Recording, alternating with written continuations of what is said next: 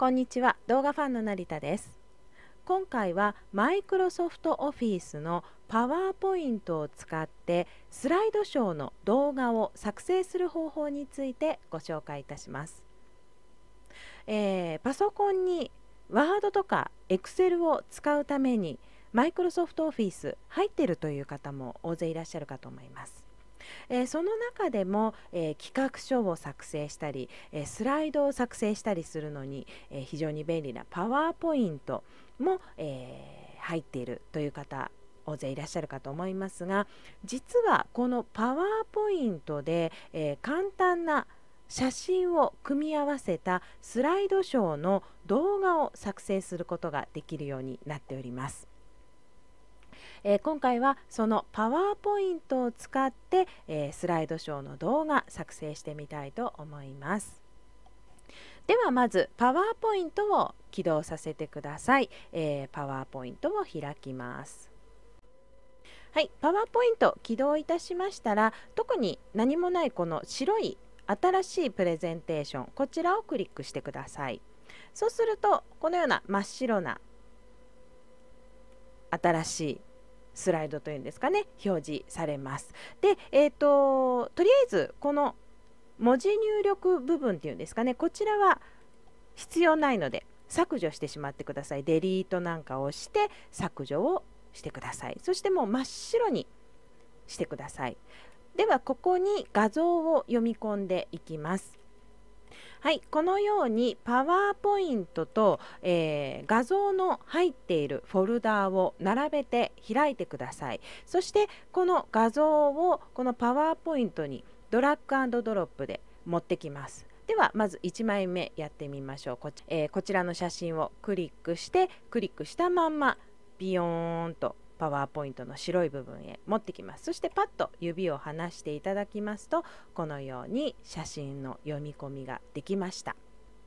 読み込み完了いたしましたら上のこのタブの中からアニメーションこちらをクリックします。そうするとここにアニメーションという項目が表示されます。この写真をどんな風に表示させるかというのをここで設定していきます。ではまずこのフェードというのをやってみましょう。そうすると選択すると写真が動くのが分かりますでしょうか？ちょっともう一回やってみます。そうするとこう白い画面からふわっと表示されるそんな表示になりました。このように写真を読み込む。そしてアニメーションを設定する。というふうにやります。でこれを繰り返していきます。では次2枚目いきます。2枚目も同じようにドラッグドロップでビヨンとパワーポイントに持ってきます。で同じ写真の上に重ねてしまって OK です。えー、っとアニメーションを選択してそれではこれはフロートインというのにしてみましょうか。そうするとこうぼやっとなって下からふわっと入ってくる感じですかね、えー、そんな風になりましたではえー、っとこちらで用意している5枚の写真すべて使いたいと思いますので3枚目も同じようにドラッグドロップ。そしてアニメーションでじゃあこれはワイプというのにしてみましょうかね。えー、とあんまり変わらないのでじゃあバウンドにしてみましょう。ボインボインボインという感じになりましたね。では続いて4枚目。4枚目も読み込みます。そしてアニメーションでこれはじゃあターンにしてみましょうかね。そうするとぐるぐるぐるっとなりました。最後ですね。5枚目。5枚目もドラッグドロップで読み込みます。でこれちょっと他の写真より小さいみたいなので大きさ合わせたいと思います、えー、マウスでこうクリックした状態で動かしてあげると好きな位置に動かすことができます。でこの四隅と上辺底辺横2つ。この丸印にカーソルを合わせると動かすことができます。この白い矢印になりますのでこれでビヨーンとこうマウスを引っ張ってあげるとサイズを変えることができますのでこんな風に最後の5枚目入れることができました。同じくこれもアニメーション。つけていきましょう。そしたらこれは、えーと、ホイールにしてみましょうかね。そうするとこうぐるぐるっという表示になりました。このように1枚ずつアニメーションをつけながら写真の読み込みをしていきます。はい、そして、えー、このアニメーションタブの中のアニメーションウィンドウこちらをクリックしていただきますとこのようにアニメーションウィンドウという詳細が表示されます、えー、1枚目はこのぐらい2枚目はこのぐらいといった、えー、全部で5枚の写真がありますよという、えー、表示が出ておりますのでこちらあると分かりやすいかと思います。またこのアニメーションウィンドウでプレビューこちらをクリックしてみましょうそうするとこのようにどんな感じで動くかプレビューで確認することができますのでこのようにして画像を追加していくと分かりやすいかと思います。でもちろんこれパワーポイントなので文字入れることができますテキストの挿入ができます、えー、どのようにやるかと言いますとホームホームタブを開いてでこの図形描画と書いてあるところのこの四角い枠の中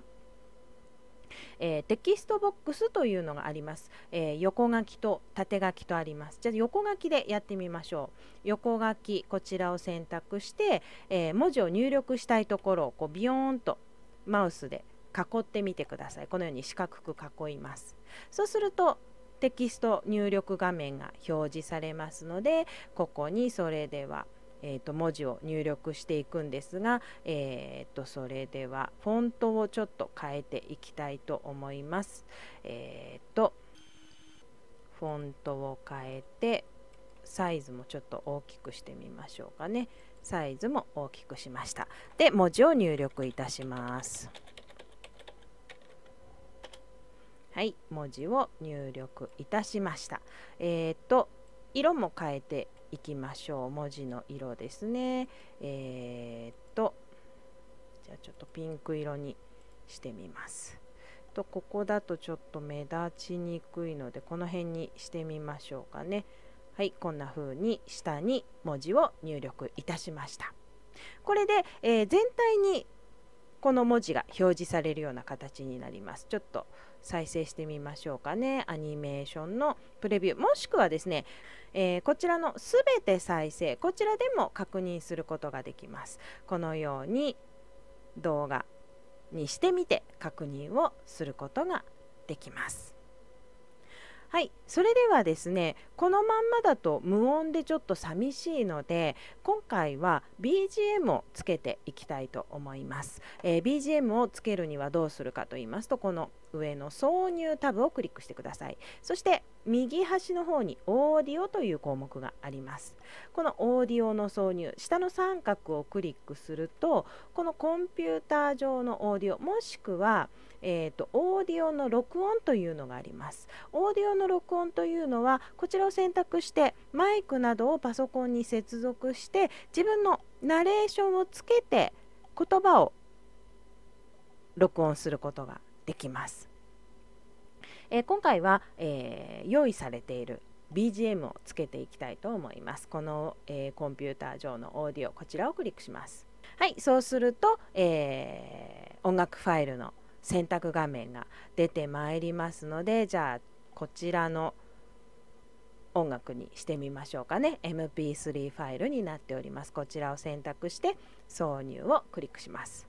そうすると画面上の真ん中にこのようなスピーカーのアイコンが表示されます。で今これ選択された状態なんですけれどもちょっと外してみましょう。そうするとちょっと分かりにくいんですがこのスピーカーを選択するとオーディオツールという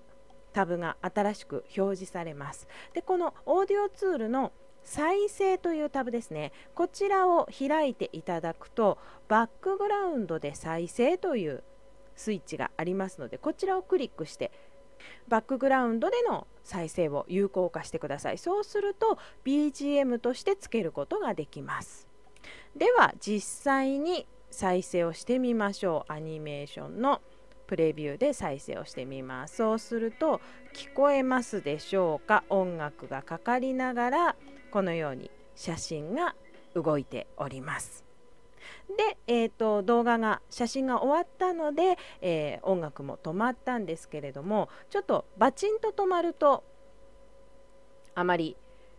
格好が良くないのでフェードアウトにしましょうかね。この、えー、オーディオツールの再生タブのこのフェードの継続時間というところですね。ここでフェードアウトの時間を設定してあげますと、えー、フェードアウトで徐々に小さくなる。そういった設定をすることができるようになります。ではもう一回確認してみましょう。じゃあ、えーと、ここから再生。これでさ確認をしてみます。そうするとはいこれで。うさぎさんの写真5枚使ったテキスト入りそして BGM 入りの動画作成することができました。ではよろしければ今作った動画を保存していきたいと思います、えー、左上のファイルですね。こちらをクリックしてください。そして、えー、まずはこの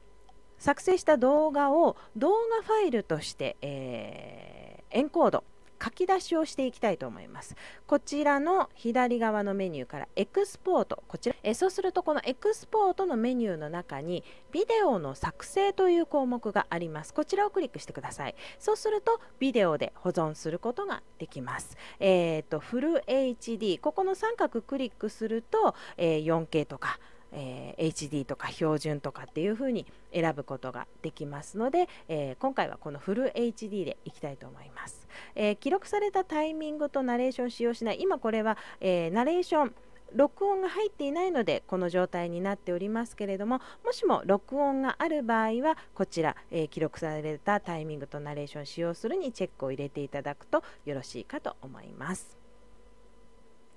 えー、各スライドの所要時間5秒間となっております。5秒ごとにスライドが切り替わりますよというのがわかるかと思います。よろしければこちらのビデオの作成こちらのボタンをクリックします。はいそうすると、えー、どこに保存するかあとファイル名の設定が出てまいりますのでじゃあ、えーと、プレゼンテーション1じゃなくてうさぎの日常というタイトルに変えましょう。このテキストと同じタイトルにしました、えー、タイトルをつけて、えー、保存。こちらをクリックします。そうするとこの下のところですね。ちょっと確認をしてみてください、えー、ビデオうさぎの日常 MP4 を作成中という表示が出てまいりましてこの帯が最後までいけば完了となります。この帯が動いている間は、えー、こちらのパワーポイント触らないようにお待ちください、えー、この下の表示が消えたら動画のエンコード、えー、書き出しは終了となります、えそれでは出来上がった動画ちょっと確認をしてみましょう。はいそうするとこの同じ画像が入っていたところに動画も保存したんですけれどもうさぎの日常 MP4 が保存されております。では実際に開いて試しに見てみましょう。そうするとこのようにスライドショーの動画再生ができました。問題ないかと思います。それではですねこちらの内容パワーポイントで開けるファイルとしても保存しておくとまた後から、えー、編集し直したりすることもできますので保存をしておきましょう。ファイルをクリックします。そして名前をつけて保存。そうすると、えー、保存先が出てまいりますので、えー、保存したいフォルダを選択して、えー、とじゃあ同じくうさぎの日常というタイトルにして、えー、これはパワーポイントプレゼンテーションという PPTX という拡張子のファイルで保存となります。保存をクリックして完了となります。そうするとまたパワーポイントでこちらのファイル開き直すことができるようになっております。えー、このように何枚かの写真を組み合わせて動画を作るとき、えマイクロソフトのパワーポイントでも簡単に作ることができます。えー、スライドショーの作成にぜひ役立ててみてください。それでは以上となります。最後までありがとうございました。